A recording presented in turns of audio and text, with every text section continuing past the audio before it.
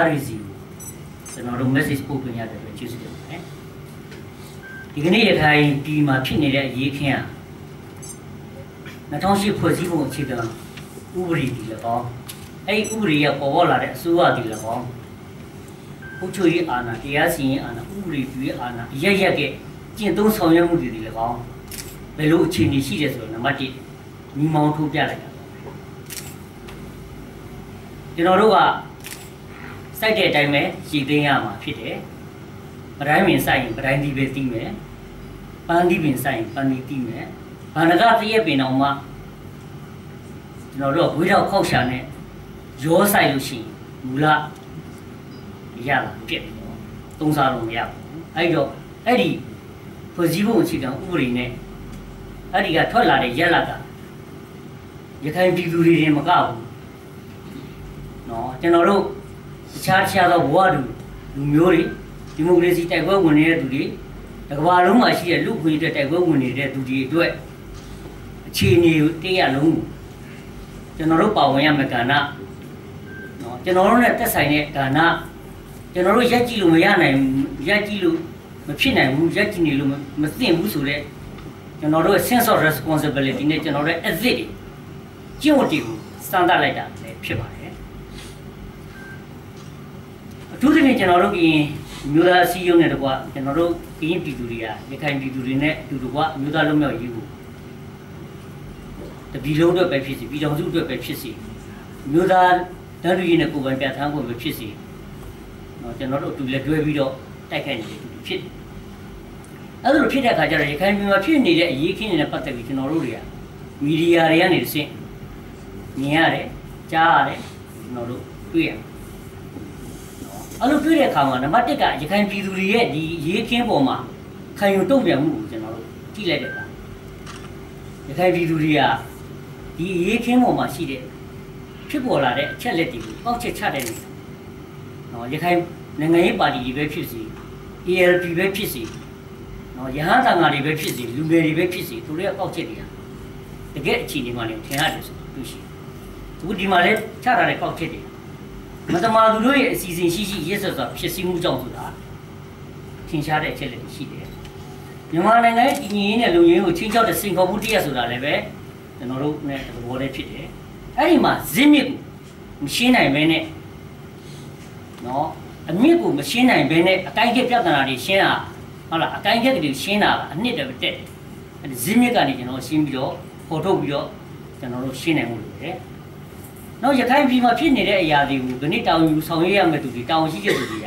ဘယ်လိုရှင်းနေမယ်ရှိရဆိုတာရခိုင်ပြည်ရဲ့မြို့တော်မှာရှိတဲ့စစ်တွေမှာကြီးလိုက်ရုံနဲ့တင်ပဲနော်တီးနော်တခြားသောတောတဲ့မြို့ငယ်လေးတွေမှာဘာဖြစ်နေလဲဆိုတာကိုပြောနေတယ်အဲ့ဒီမှာရခိုင်တန်ဃာတော်တွေပဲဖြစ်ရခိုင်ပါတီတွေပဲဖြစ်ဖြစ်ရခိုင်လူမျိုးတွေနေအနေသားနေတဲ့ကကျွန်တော်တို့ကဘာဝဲဖြစ်စီကျွန်တော်တို့ဒတိုင်းပြည်လုံးပဲဖြစ်စီ ဘောလူတိုင်းသားတွေပဲဖြစ်စီဒီလိုမျိုးကိုအချိန်ကြီးတောင်းခံမှုရှိရှိတောင်းဝန်တိတိနဲ့ကျွန်တော်တို့တတိဖြတ်ဝင်တဲ့အတွက်ကျွန်တော်တို့အနေနဲ့ကလည်းပဲဥစ္စာရင်လည်းဥစ္စာရင်ကဲတကယ်ရခိုင်မျိုးသားရေးနေတဲ့ရခိုင်ပြည်ရဲ့လူမျိုးရေးအတွက်ကိုဆောင်ရွက်နေတဲ့သူတွေကိုနိုင်ရဲ့အတန်ကိုကြားရတဲ့အတွက်ကျွန်တော်တို့က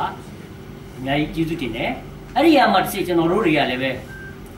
ကျွန်တော်တို့တွေဘလို့ဒီအရေးခင်းမှာမြင်ပြီးရက်တည်မလဲဆိုတာကိုလည်းပဲရှင်းရှင်းလင်းလင်းပေါ်ပြဖို့အတွက်တရားကိုပေါ်ပြဖို့ဝင်လန်းလည်းရတာဖြစ်တယ်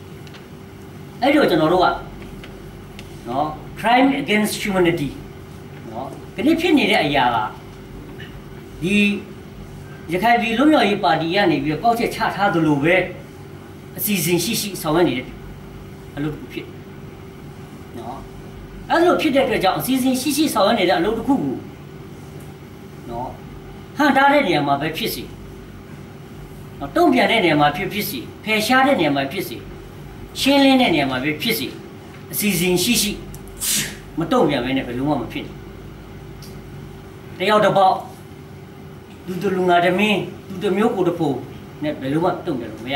နံပါတ်1ချက်နံပါတ်2ချက်ကယနေ့ဥတီပြီးတော့ကျွန်တော်တို့အာဏာရယူထားတဲ့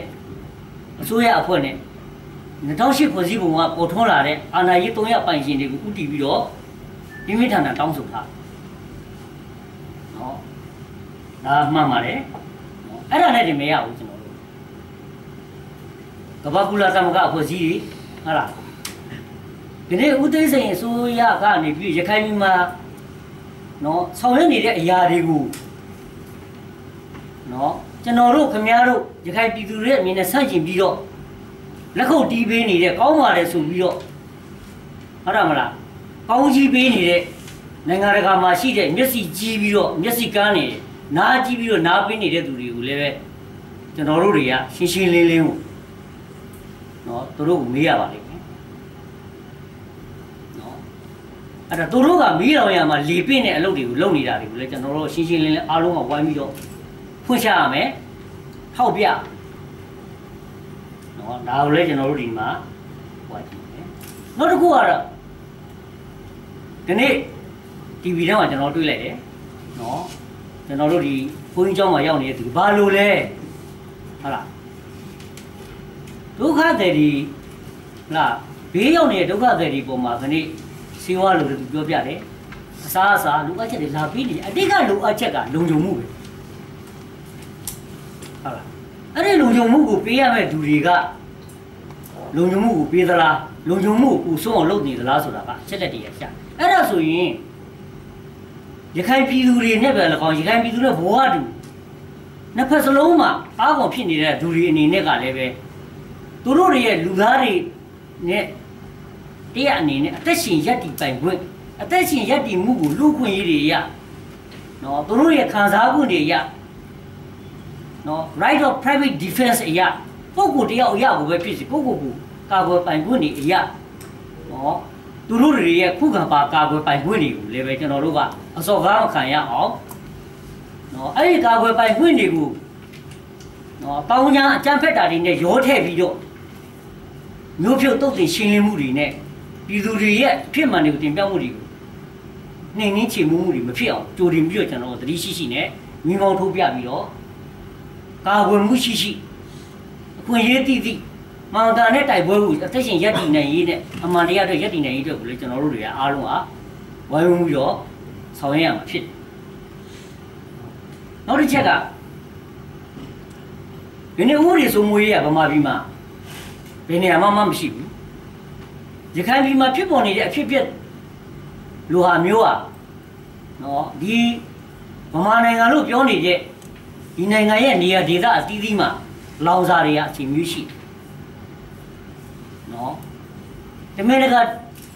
တင်ကူးကြံရွယ်ပြီးရှို့ရင်အချိန်မျိုးဘယ်နေရာမှာဆိုပေါက်ကွဲနိုင်တယ်အခုရခိုင်ပြည်မှာရှိတဲ့အရာတော်မှအဲ့ဒီမီးတော်မှဒီမီးကပြင်းတယ်ဆိုလို့ရှိလို့ရှိရင်ကျွန်တော်တို့မီးတွေပါအားလောင်တဲ့ကောင်လိုက်ရှို့စီရမလို့ဒီမီးကပြင်းတဲ့အတွက်ကြောင့်ခုန်ပြန်ထွက်ပြီးတော့မီးလုံးလိုက်ဟုတ်လားအဲ့ဒါတွေကရှားနေရာတွေတောက်ကိုကြာရောက်သွားပြီးတော့အချိန်မျိုးကူးဆက်တယ်အခုလက်ထုံလေးလည်းကောင်းပဲရခိုင်ပြည်အတွင်းမှာဖြစ်နေတဲ့ကန့်တတ်နေမြေအတွင်းမှာဖြစ်ပေါ်တဲ့အရာဝတ္ထုတစ်ခုကကြာလာလေကြီးထွားလာလေဖြစ်လာရင်အဲ့ဒီမီးလုံးက ခုန်ပြန်ပြီးတော့ကူးဆက်မယ်ဆိုတာကိုဒီရှာကျွန်တော်နားလည်ထားဖို့ရည်ကြီးတယ်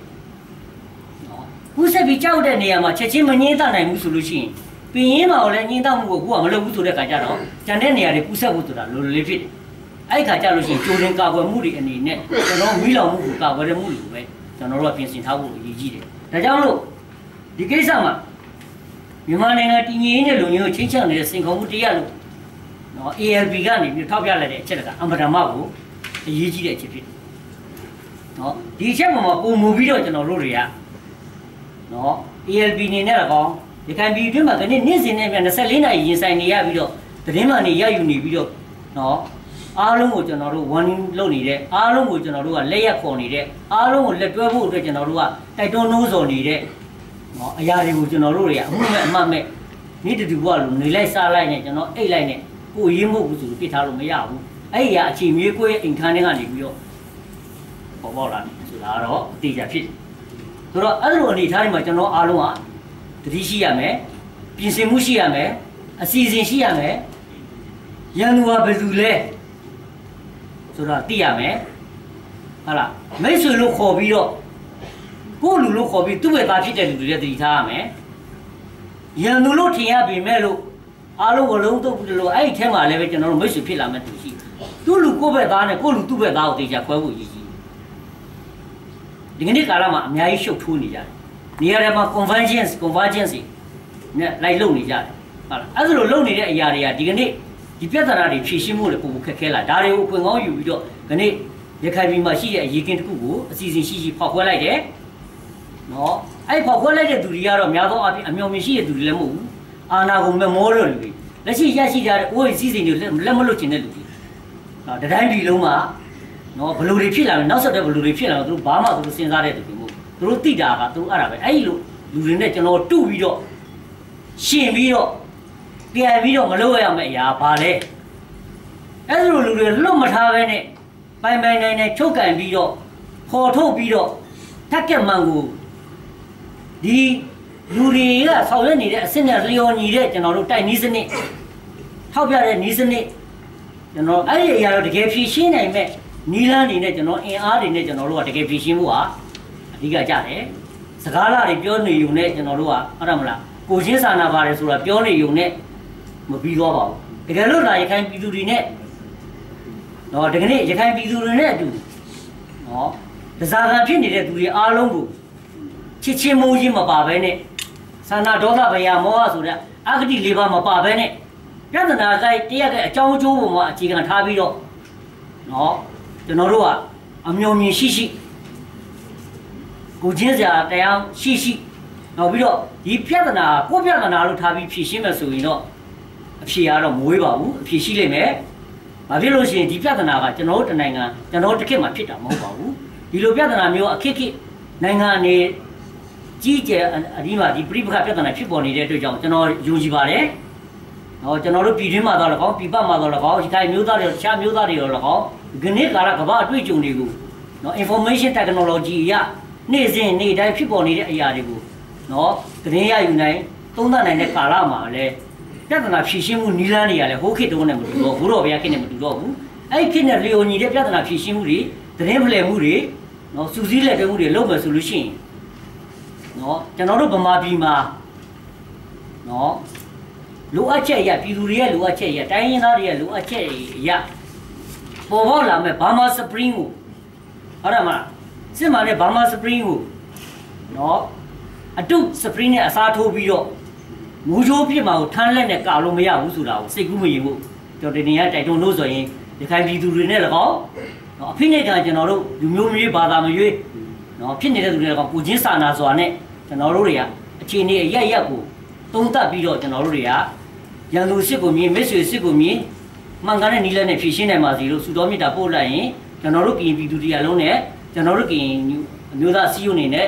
အမြဲတမ်းအမှန်တရားတိုက်ပွဲအတွက်အစဉ်သင့်ရှိနေပါမယ်လက်တွေလည်းပါဝင်ပါမယ်လို့ပြည်ပြည်ဒီနေ့ကနေဒီကုန်းချုပ်ပါတယ်